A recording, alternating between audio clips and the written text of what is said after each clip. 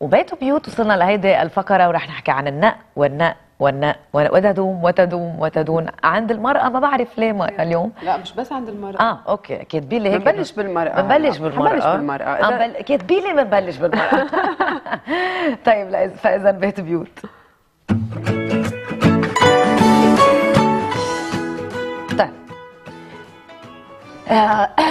bonjour bonjour ولا بدنا نبلش بالنق هلا دايما نحن مواضيعنا عم نبلش نتناولها أو عند الرجل بعدين بالأسبوع اللي جاي بنحكي عن المرأة أو العكس يعني حلوة المساواة. الاثنين. عم ياخذوا. حصه بس أنا ليه بلشت هلأ؟ يعني موضوعي أنا سميته nagging أو النق بالوقت يلي هيدي التسمية إذا بدك أنا مش مقتنعة فيها يعني؟ أنا شخصيا ماني مقتنعة بتسمية نق لأنه هلأ رح نحكي بسياق حلقتنا إنه بالفعل ما في شيء اسمه نق يعني كلمة نق هي آه، مثل بنسميها وسيلة دفاع نفسية آه، بنستعملها بيستعملها الرجل أحيانا أو بمعظم الأحيان لحتى يطلب منا تسكت لحتى يطلب منا أنه ما تطلبي طلبات مني مش قادر نفذ لك طلباتك أو ما تطلبي اتصل فيك خبرك أنا وين أو إلى آخره. فمثل هيدا إذا بدك بنسميها mécanisme de défense أو وسيلة من وسائل الدفاع لحتى يوقف شيء هو عم يزعجه والعكس صحيح كمان. صح. يعني هو كمان إذا عنده إصرار على طلبات معينة منا إن كانت طلبات بسيطة أو طلبات جدية أكثر كمان هون هي وقتها بتقول له أوف خلص حشتنق مش معقول شو بتنق كمان هيدي وسيلة دفاع هي بتستعملها لأنه هي بمطرح معين أو ما قادرة يمكن آه، تمشي معه بهالطلبات أو آه، ما قادرة تعمل بعض التضحيات اللي هو عم يطلبها أو آه، مش موافقة على وجهة نظر بكل بساطة هو عم بيقولها نعم. بخصوص شيء معين. فهي كلمة نق من هون جاية يعني ما في لها تعريف علمي كلمة نق منا هي شيء علمي صار- صرنا نحن يمكن بنتداولها كثير هو تكرار الأشياء. إيه. يعني وقتها بقول لك مثلا تنقول آه، هي عند الولد بتبلش عشر نقول- مرات صاروا إنه آه، زوجك بيقول لك مثلا آه، إنه آه، بليز آه، من بعد ما تنقول تاكلي فواكه رد الجات على البراد. آه، بيرجع بيقول لك بكرة طب ما بحب نترك الفواكه على المجلى جد رد الجات على بيرجع بيقول لك بيرجع بيقول لك بتصير نسميها ليه؟ لأنه تكررت.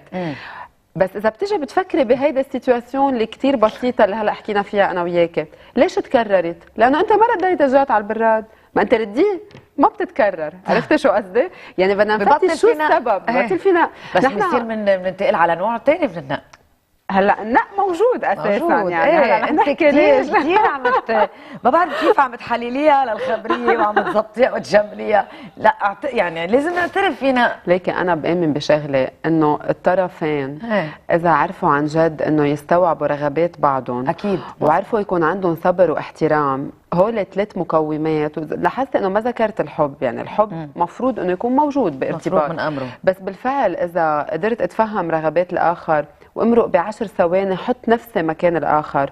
وعرفت أنا أصبر و- وعرفت قد ما بقدر أحترم الآخر. بفتكر ما بيكون عندنا مشاكل زوجية بتكون الدنيا بألف خير. صح. نحن أخذنا رأي الناس مثل العادة آه، رولا. ما هيك رويدا؟ نحن أخذنا رأي الناس ورح نشوف شوي شو رأيهم بالموضوع. يلا.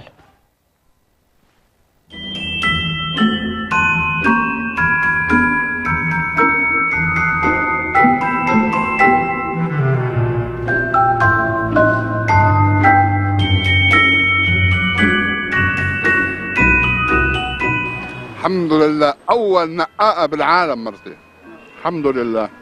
لا ما أنا. صبو... صبورة والله صبورة. إيه بكفي اخدتني أعوذ بالله مرتي بتنق. وأنا مرتي كل يوم بحبها مرتي أنا. ما بتنق. ما بخليها تنق. الحمد لله. عايش كل مالها. الله يخلي لي إياها يا رب. في مرة بالدنيا ما بتنق. الحمد لله. مرتي سابقة. ما كانت تتنق. بس بين النقة والنقة كان في نقة بناء كل الرجال بتنق. إيه.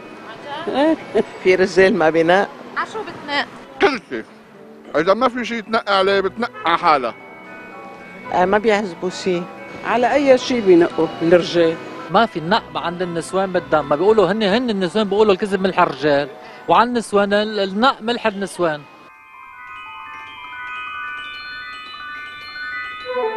الناق كتير حكي وبلا طعمة. هيدا الناق خلينا نقول مثلا بدنا نطلع نسهر. أي ساعة جاي؟ تعوقت أنا لبست. حطيت الميك أب. شوبت. قطعت الكهرباء. يعني هذا اسمه نق بدها شيء أي شغلة. يلا شوي روقي. بدي بتضلها. يلا يلا يلا يلا. طب ما عم لك روقي روقي روقي روقي. هيدا اللي بجننه للرجال. يعني إذا الطبخة ما منيحة بيقول لك زيتي لهيك. مثلا. إذا تأخرتي. بنق يعني أشياء كثير بنق الرجال. شو ما بتقولي له اوبجكشن هيدا ما عجبني وهيدا ما بدي إياه وهيدا ما بدي أعمله وبلا هالمشوار بلا هالشغلة إنه هيك شغلات. النق موجود مع الرجال ومع النسوان ومع الأطفال ما وقفت هي بس على النساء حتى ما نظلمهم كثير متطلبة كتير وما بيعجبها العجب ولا الصيام برجب. وبتقوموا من الصبح بدل ما تعمل له هالفنجان القهوة بوجه صبوح وكذا بتقول له بتبلش. جيب لي هيك واعمل لي هيك وليش تأخرت؟ وليش رحت؟ وليش جيت؟ وليش كذا؟ هاي المرات. بس ولكن جنس اللطيف ما احلاهم هن ونقهم ومن دونهم ما فينا نعيش. وينقوا.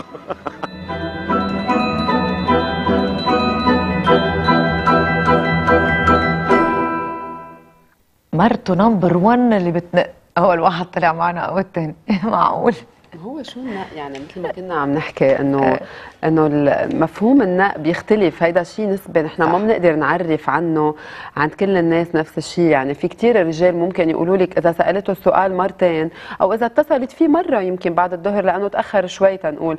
إذا اتصلت فيه مرة وسألته إنه مأخر أو وينك أو حطينا الطاولة بدنا نتعشى ممكن هو يعتبر إنه هيدا نق بالوقت يلي بنجي نحن بنفكر بطريقة موضوعية إنه هيدا مش نق إنه هيدا آه، استفهام عن تأخير معين. يعني بالنهاية في شغلة أساسية إنه الارتباط أول شيء هو مشاركة بكل شيء. يعني وقتها بناخذ قرار الزواج. هذا الشيء بيعني إنه مجرد إنه نحن أخذنا هذا القرار وانتقلنا تنعيش بنفس البيت وعم نعمل عائله يعني صرنا شخص واحد. صح. وقتها بنصير شخص واحد بدنا نتشارك بالتفاصيل المهمة. هلأ التفاصيل المهمة مش بكل الأحيان بتعني إنه نشتري بيت أو نشتري سيارة أو بيكون عندنا قرارات مصيرية عم ناخذها بعائلتنا. التفاصيل المهمه هي التفاصيل اللي بتجمعنا سوا. صح. يعني المشاوير بتجمعنا سوا السهرات بتجمعنا سوا المشاوير تبع الاولاد بتجمعنا سوا. حتى مشاوير يمكن كتير بسيطة مشوار سوبر ماركت مثلا بيجمعنا سوا. آه، مشان هيك بده يصير في مشاركة بهيدي التفاصيل. يعني بده يصير في إنه احتر... الاحترام آه، رولا ما بيكون بس احترام بإنه ما نوجه شتائم أو ما نوجه كلمات عاطلة لبعضنا. الاحترام كمان بيكون بإنه آه، ما ننطر الثاني نعرف إنه إذا هالمشوار مثلا بقدر أعمله مش نهار الأحد لأنه نهار الأحد هو تنقول النهار المخصص لعائلتي أو لزوجي أو لزوجتي. نعم. أعرف أنا إنه أنا أخصص هالنهار هيدا احترام. هيدا رسالة احترام إنه أنا اشتقت لكم بحبكم وهيدا النهار أنا بقدر ما أعمل فيه تنقول هالارتباط أو هالمشوار ومخصصه لإلكم آه، ما نطر يمكن زوجتي إذا أنا وعدها إنه جاية أخذها من مكان معين. أو هي ما تنطر زوجها إذا هي قالت له مثلا الساعة 4 بترجع من الشغل وهي عرفت إنه بترجع خمسة. كمان في عدم احترام إنه ما تبلغ. فهون إذا بنجي بنوعى لكل هالتفاصيل البسيطة اللي عم نحكي عنها بنلاحظ إنه بحياتنا فعلا الشيء اللي اسمه نق ممكن نحن نخفف منه. هلأ رولا النق هو الإصرار على تناول نفس المواضيع. مم. بيجي اجمالا بثلاث مراحل.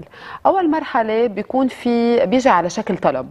يعني على شكل طلب بيصير بشكل لطيف آه، مع اختيار آه، كلماتنا وإلى آخره. بركي إذا اجى بهذا الأسلوب ما بيقعد بيتكرر. ما هو بدك تشوفي وقتها بنجي بهذا الأسلوب كيف تكون ردة الفعل. محترنا يا قرعه يعني رح أقول لك بيقولوا لك احكيه بطريقة وعرفي وصلي المساج بكون أسلوب منيح بتوصل الفكرة وبتوصل حسب الطرف الثاني.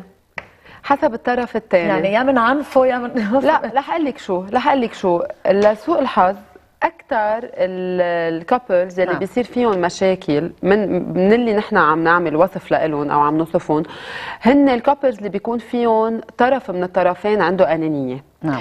الأنانية اللي هي إنه أنا صح أنا بشوف الأشياء هيك لازم تصير وأنت بدك تعملها مثل ما أنا بشوفها. نقطة على السطر. بتشوفيها أوقات عند الرجل بتشوفيها أوقات عند المرأة. هيدا بتخلق نق لأنه أنت وقتها بيكون زوجك عم بيقول لك انه بليز حبيبي أنا بفضل تعملي هالشغله وأنت شو ما قال لك وقد ما غنجك وقد ما اهتم فيك. خلص أنت مقتنعه ومصره إنه هالشغلة مش هيك بدك تعمليها. فشو ما صار ما منك حاضرة لولا تنازل أو منك حاضرة لرؤية جديدة من منظاره للأمور. تتقرب شوي. يمكن ما تعملي له parfaitement اللي هو بده إياه. بس تقرب شوي من منظاره للأمور. فإذا صرنا عم نحكي عن أنانية هون. فإذا انفرض النق لأنه هو رح يرجع يكرر الطلب. رح. يكرره كذا مرة. أول stage مثل ما قلنا هو هالطلب يلي هو إذا باخذ مثلا example كثير بسيط هلأ كثير بنشوف نساء كثير بيلوموا رجالهم تنقول على عدم مشاركتهم بحياتهم اليومية بواجبات الأولاد أو إلى آخره فاذا رح اخذ example إنه مثلا تنفترض قالت لزوجها إنه فيك أنت تبقى نهار ثلاثة وما بعرف أي نهار مثلا تجيب الصبي من المدرسة آه، فأنا ما عندي وقت تطلب مني هيك طلبات أنت بتعرفي نهاري تا تا تا تا. هيدي المرحلة بتطول شوي بس بنوصل لتاني مرحلة يلي هي ببلش الاتهام فيها. يعني إذا هو ما أصغى ما كان عنده إصغاء لحاجتها وما كان عنده وعي لعواقب هالموضوع لإلها. يمكن عم بتعبها هالموضوع يمكن ما عم تلحق تعمل غدا يمكن ما بعرف شو حسب كل حدا له ال case تبعه. تاني مرحلة بتكون إنه أنت واحد أناني أنت ما بتفكر بغير بحالك شو أنا قد إيه بدي أحمل أنا متحملة مسؤولية البيت. ظهرنا من مرحلة. كتير، إيه. بلشت تكبر كرة ثلج بلشت تكبر. فاذا من الأول أنا بدي يكون عندي إدراك لحاجة الآخر. تما أوصل للستيج الثاني أو للمرحلة الثانية لأنه المرحلة الثالثة هي الأسوأ. المرحلة الثالثة هي اللي بصير فيها تراكمات. يعني من بعد سنوات أو أشهر الامرأة أو الرجل بصيروا يفكروا حصريا بالنقاط السلبية تبع الطرف الثاني. بصير عندك هالنظرة اللي خلص خدشت مثل ما بيقولوا تشوهت. بصير عندك حتى لو الشخص منيح معك بتتناولي أشياء ماضية. إيه بس ما تفكر أنا نسيت أنت آه، كم مرة طلبت منك هالطلب وما عملت لي إياه. هي كثير بنشوفها بال couples آه. يعني بيصيروا ينفضوا أشياء قديمة. بدنا نكفي بنفس الموضوع آه، رولا نهار الجمعة اللي جاية. أكيد, أكيد. مع إرشادات أكثر اليوم طبعاً. كانت introduction المشكلة الجمعة. الجايه آه، أكيد بشوفك الجمعة عجري إن شاء الله رح نتوقف مع بريك ومن بعدها بنكون مع الشيف حسين وكمان رح نحكي عن المؤتمر الحقوقي الأول للمرأة العربية تحت عنوان القوانين والتشريعات آه، التي ترعى شؤون المرأة العربية Thank you.